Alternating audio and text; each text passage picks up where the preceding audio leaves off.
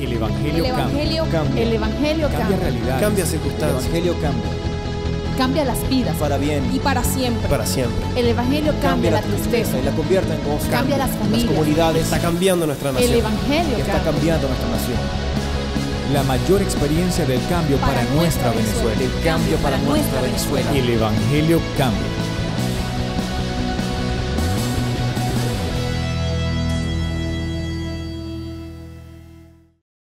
La palabra de Dios nos enseña cómo vencer el afán y la ansiedad.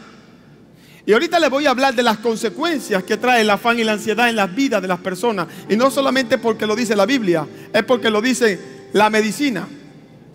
Pero bueno, vámonos un momento al libro de Mateo capítulo 6, palabras de mi Señor Jesús. Vamos a comenzar en el verso 25. Verso 25. Aquí vamos, Jesús nos va a enumerar, Jesús, a través de la Biblia, las causas de la ansiedad. ¿Qué causa ansiedad? Bien, comencemos en el verso 25. Por tanto os digo, no os afanéis por vuestra vida. Je- Jesús no decía las cosas por decirlas. Jesús no, no estaba enseñando esto por, por enseñar. Él sabía que el afán y la ansiedad siempre estarían tocando a tu puerta. Y entonces Jesús empieza diciendo, no os afanéis. O sea, Jesús está diciendo un no. El afán no es bueno. La ansiedad no es buena a tu vida. La ansiedad no soluciona problemas. El afán no soluciona problemas. El afán crea y la ansiedad problemas, pero no soluciona. Por eso Jesús pone un gran no al afán.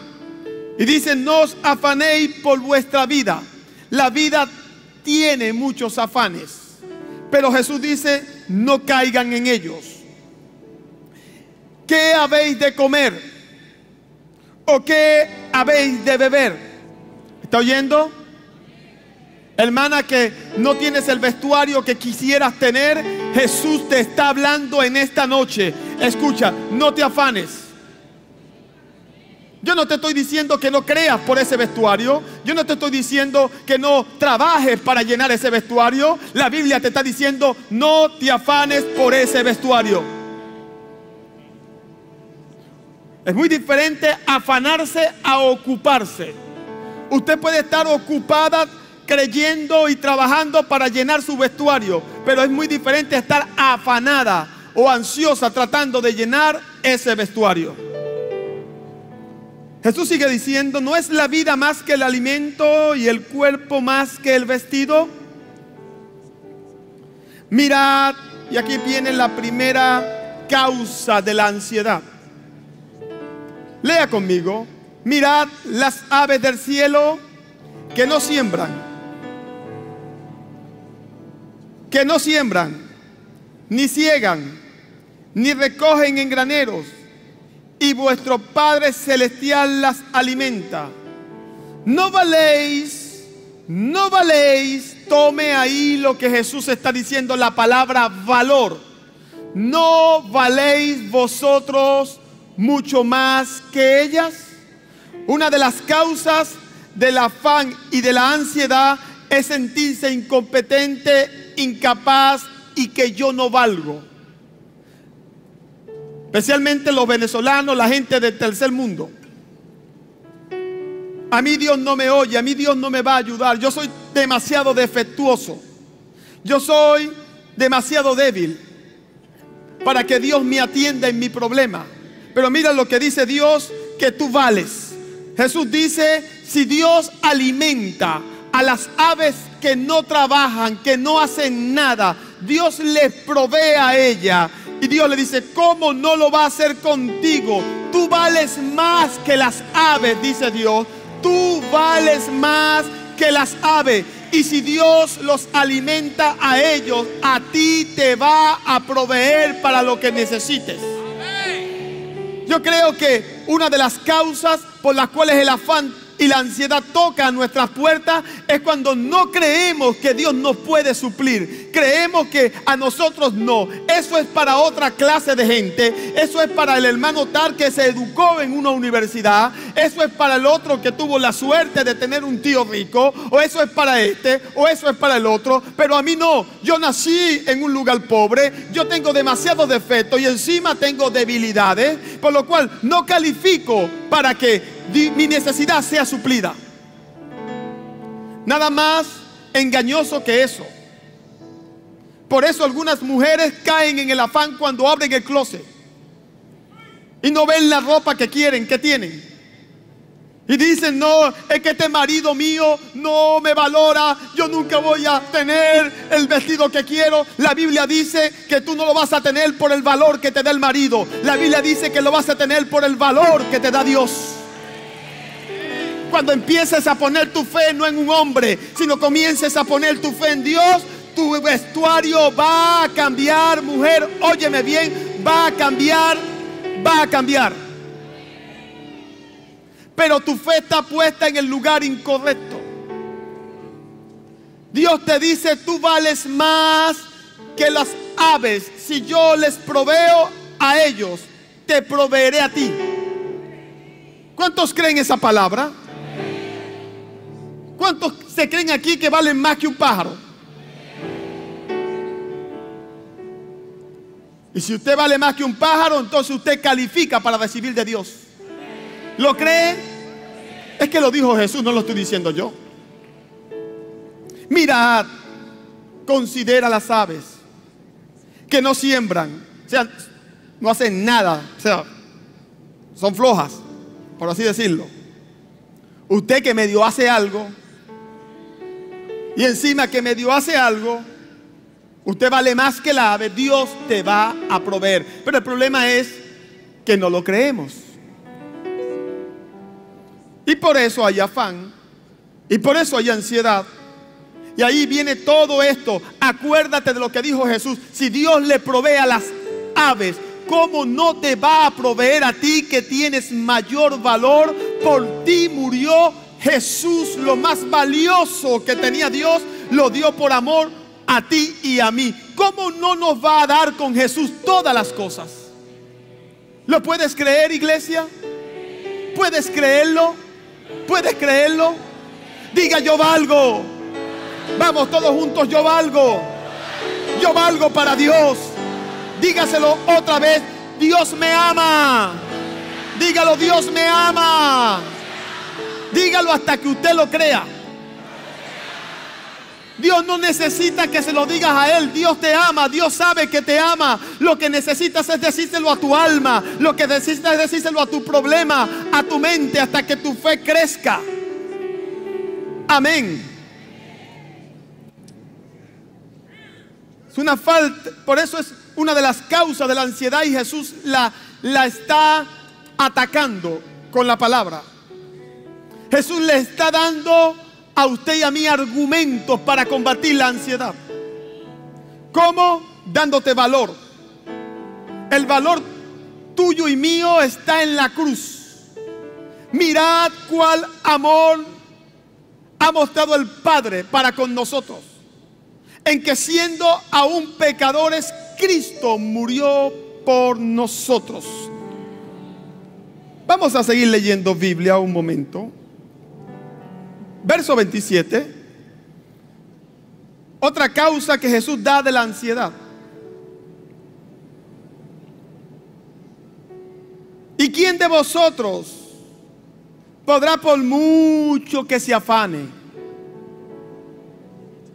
añadir a su estatura un codo? Me da risa.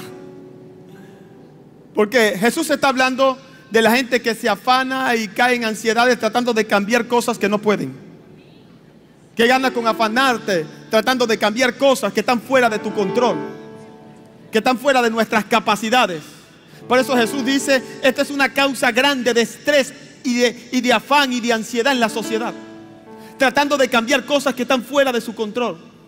Lo que esté fuera de tu control, entrégaselo a Dios porque Él sí puede controlarlo. No trates tú de controlar algo que no se puede. No trates tú de hablar de un pasado que no puedes cambiar. Mejor, gloria a Dios, llévaselo a Jesús porque Jesús con ese pasado que no puede cambiar te puede dar un futuro. Así que Jesús exhorta a la multitud sobre esta causa que trae afán y ansiedad. Tratar de cambiar cosas que están fuera de su control, fuera de su poder, fuera de su área de influencia. Las cosas que no puedas, escúchame bien, con tu propia fuerza o como, o como con los recursos que te, da la, que te da la palabra, ponlo en las manos de Dios. No puedes con el Hijo, has hecho todo, entrégaselo a Dios. Confía en Él y Él hará. Eso es lo que la Biblia dice. Tercera causa de, afán y de ansiedad. Jesús la dice toda seguida. Está en el verso 28. Y por el vestido, ¿por qué os afanáis? Considerad los lirios del campo, como crecen, no trabajan ni hilan. Pero os digo, os digo, que ni aun Salomón con toda su gloria se vistió así como uno de ellos. Oh, qué poderosa palabra de Jesús para combatir la ansiedad, especialmente en las hermanas con los vestidos. Pero esto no solamente tiene que ver con las hermanas y los vestidos, porque Jesús está hablando sobre la, gente que le llega el afán y la ansiedad por no contar con que Dios supla todas sus necesidades. No cuentan con eso y por eso les llega el afán. Jesús entonces pone la flor del campo y dice, mira, ni trabaja, ni hila, ni se crea un vestido, y ni aun Salomón con toda la plata del mundo se pudo vestir como una de ellas. Y si la hierba del campo que hoy es y mañana se echa en el horno, Dios la viste así, no hará mucho más a vosotros, hermanas y hermanos, hombres de poca fe, porque este es el problema, la fe. La última causa que Jesús habla aquí para la ansiedad y el afán es el no tener la confianza en que Dios suple todas nuestras necesidades. Y Jesús está diciendo, si Dios viste así la flor del campo, ¿cómo no te va a vestir a ti? Dios está diciendo, tú vales más que las flores. Es la misma comparación con los pajarillos. Dios dice, tú vales más que un pajarillo. Tienes que darte valor, tienes que creer que tú vales para Dios. Tienes que creer que Dios se preocupa por tus necesidades, que Dios se preocupa por tu vestido. Pero el problema que tenemos es que no hay fe. El afán y la ansiedad tocan nuestras puertas todo el tiempo, todo el tiempo, todo el tiempo. Y no ves si eres pastor, apóstol, no pregunta. Simplemente te llega. Y es peligroso, iglesia. Porque se toman decisiones, escúcheme bien, de vida, de vida. Sencillamente por lo que el afán y la ansiedad te dicen. Y no por lo que la palabra dice. Por eso Jesús viene hablando sobre esto.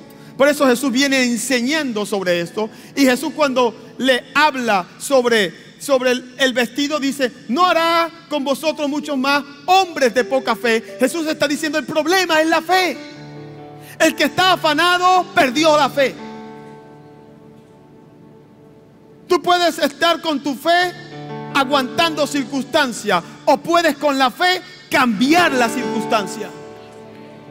Hay gente que está usando la fe simplemente para aguantar problemas. Simplemente para vivir estresado, para vivir, eh, eh, sobrevivir al estrés, sobrevivir al afán. Pero no, usa tu fe para cambiar tu vida, para cambiar las circunstancias y para cambiar lo que tengas que cambiar. Jesús dice, es un problema de fe. Porque el afán, escucha, su base es la incertidumbre. Y el afán está hoy en día tocando la puerta de muchos hogares cristianos, aún de esta iglesia, aún de nuestras vidas. Y es el que está motivando decisiones. Nunca tomes decisiones en un afán y en una ansiedad. Te llevarán a un hoyo, a un hueco. Toma decisiones en la palabra y te llevarán a la victoria. ¿Cuántos lo creen? Mire lo que dice mi Señor Jesús, porque mi Señor Jesús no ha terminado. Verso 31. No os afanéis, vuelve otra vez Jesús. Recuerde que en el verso 25 dice, no os afanéis. Aquí otra vez vuelve a decir, no os afanéis. Por segunda vez. Porque los gentiles, los que no conocen a Dios, oiga, los gentiles, los que no conocen a Dios, buscan todas estas cosas. ¿Por qué las buscan? Porque el que no conoce a Dios busca tener dinero para sentir tranquilidad. Busca tener el vestido para tener paz. Busca tener la, nevera llena para tener paz. Busca los mejores remedios para nunca estar enfermo. Pero resulta que mientras vivamos en esta tierra es imposible que nunca los problemas toquen a tu puerta.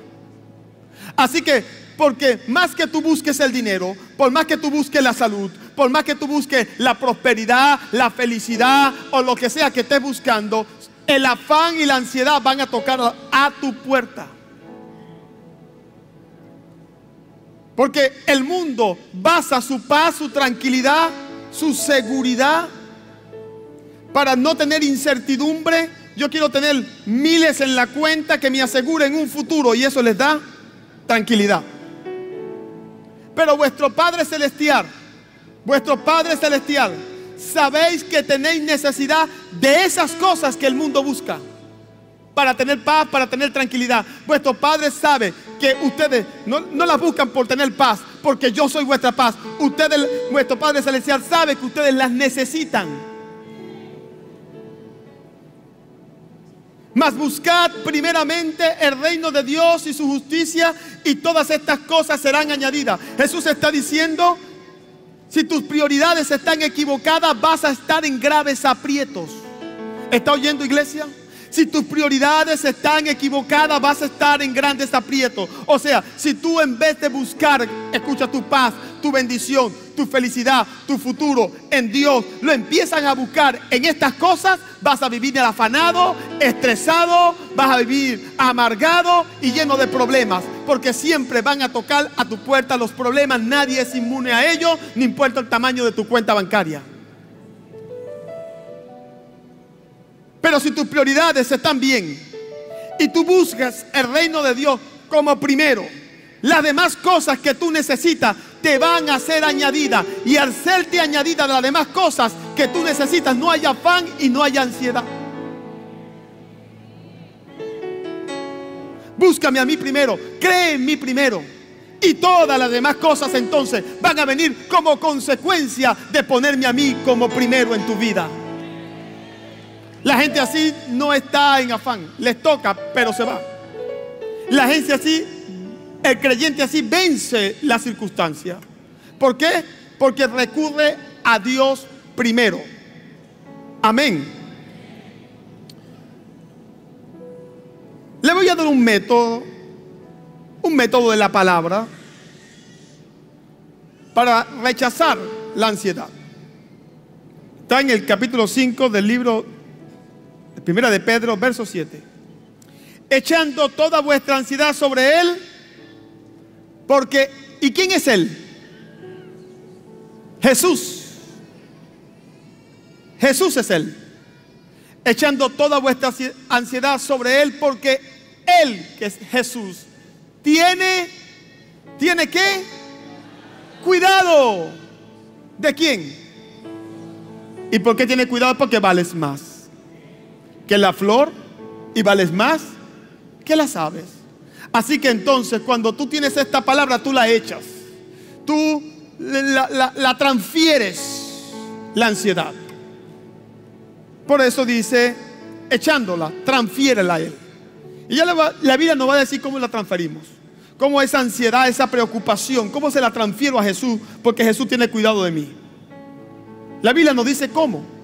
La Biblia nos enseña cómo, pero primero quiero leerle o decirle algunos efectos negativos de la ansiedad. Mire, los efectos negativos de la ansiedad. El primero es la salud. Y no voy a decir nada que usted no sepa. Tu salud está directamente relacionada con tu estado emocional. Por eso, y eso lo dice la Biblia, eso lo descubrieron los médicos, pero la Biblia lo dijo hace muchos años atrás, cientos de años. El ánimo del hombre soporta la enfermedad, más el de corazón quebrantado es carcoma de los huesos. ¿Sabe que la Biblia dice eso? ¿Y qué quiere decir con eso? Que si tú andas con el corazón quebrantado, ¿qué es corazón quebrantado? Desanimado, estresado, afanado, te vas a enfermar. Dice quebranto de los huesos. Más el de corazón animado dice que soporta. ¿Sabe que está, está totalmente demostrado que una persona anímicamente fuerte tiene un sistema inmunológico fuerte?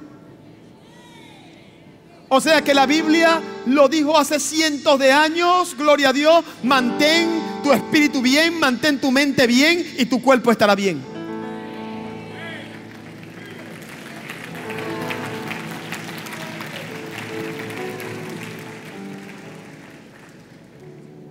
Hay gente que no duerme de noche. A mí me ha pasado.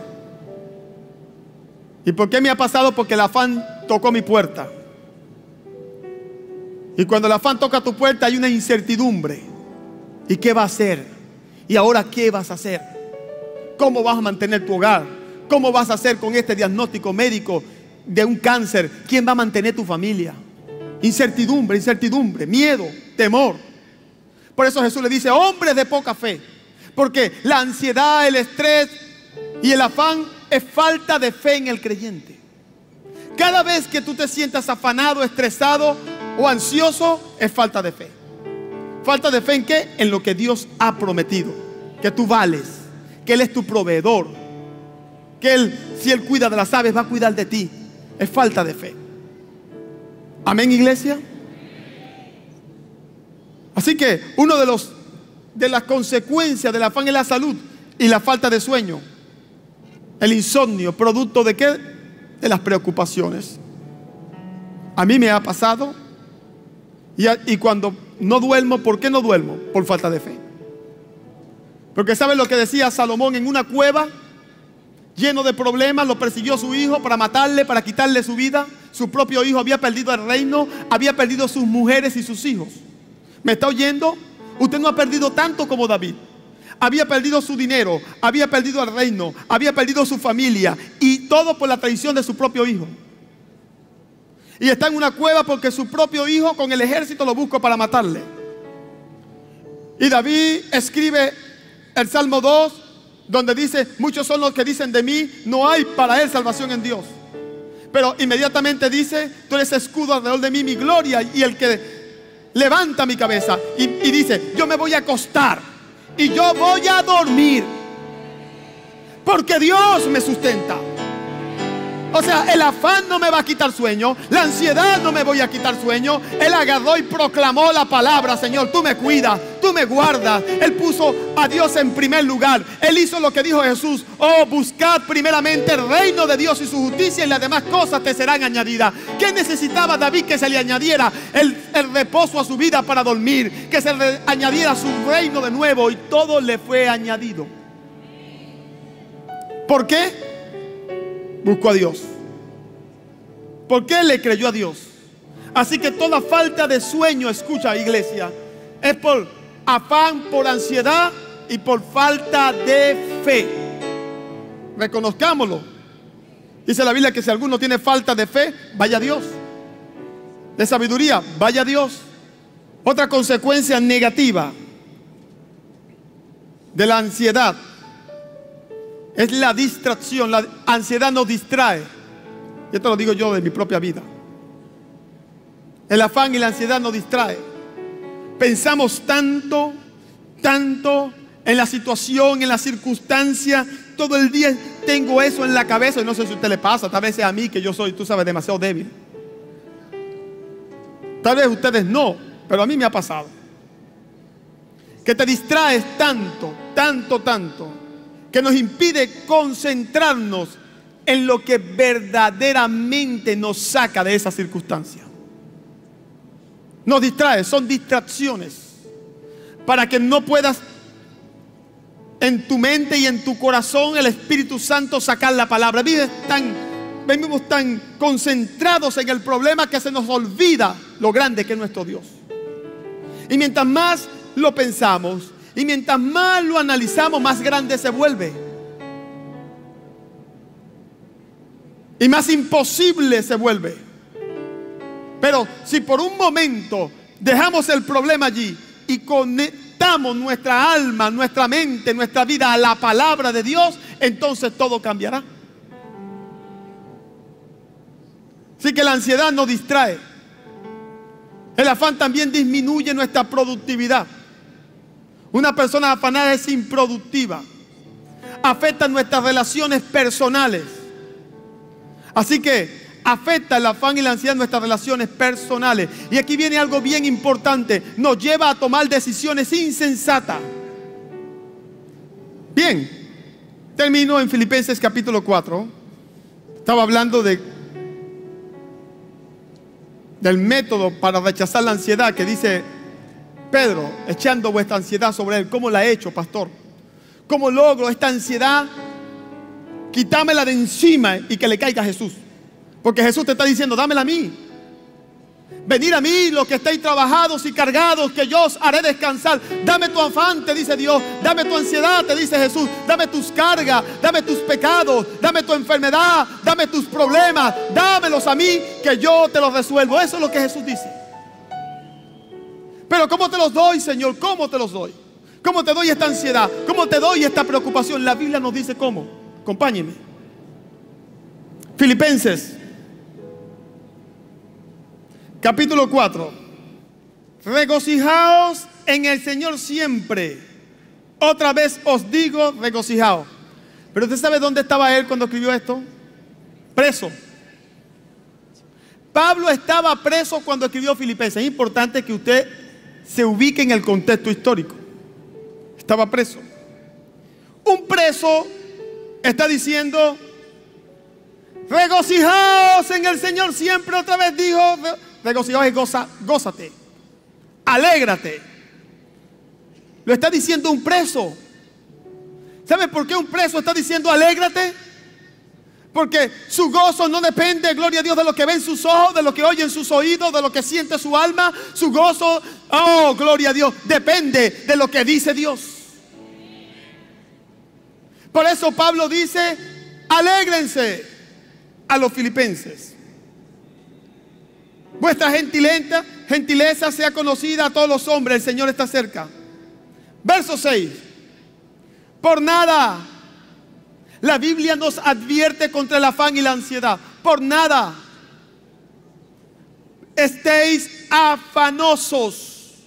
Como saco la ansiedad de mí y la pongo en Jesús. Aquí está el método. Por nada estéis afanosos si no sean conocidas vuestras peticiones delante de Dios. En toda oración y ruego. ¿Cómo saco la ansiedad de mi vida y la pongo en Jesús? A través de la oración. ¿Cuántos pueden decir amén?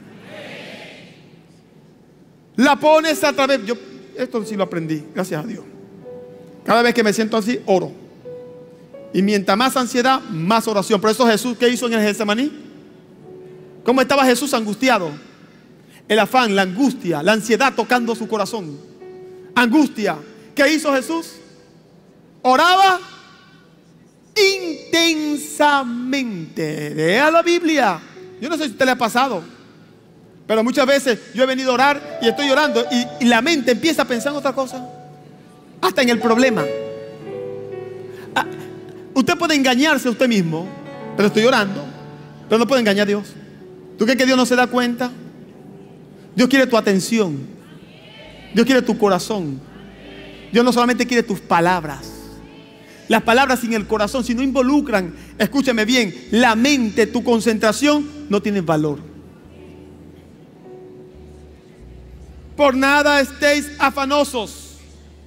Por nada ni por un cáncer, ni por un hijo que se te fue, por nada. Pastor, pero es que usted no sabe el problema que tengo. Pastor, pero si usted me dejara y me, me permitiera explicarle el problema por lo cual yo estoy afanado, por nada. Por nada. Más bien, echa tu ansiedad sobre Él. ¿Cómo lo he hecho? Que sea conocida en el cielo tus peticiones delante de Dios. No tus quejas delante de tu familia y de tu esposa, sino delante de Dios. No tus peticiones de crédito bancarios en el banco para pagar una deuda con otra deuda, sino tus peticiones al cielo. Con toda oración y ruego. Y aquí viene algo importante. Con acciones de gracias. ¿Qué quiere decir acciones de gracia? Acción de gracia es un agradecimiento. Pero, pero si no lo he recibido, ¿cómo voy a dar gracia por algo que estoy pidiendo y todavía no he recibido? Porque eso es fe. Porque la oración que no tiene, escucha, la sustancia de la fe es hueca. La oración necesita la fe. El que se acerca a Dios es necesario que le crea que le hay. Cuando alguien, gloria a Dios, termina de orar y dice, gracias Señor, porque yo sé que tú me oyes, porque yo sé que de camino viene mi bendición. Gracias Padre. Y, de, y le anticipadamente, gloria a Dios, la fe llama a las cosas que no son como si fuesen. Por eso Pablo dice, gloria a Dios, echa tu ansiedad en Dios como orando con ruegos y súplicas. Y luego que lo haga, da gracias a Dios creyendo que lo vas a recibir. Y esa es la forma en que el afán y la ansiedad se va a ir de tu vida.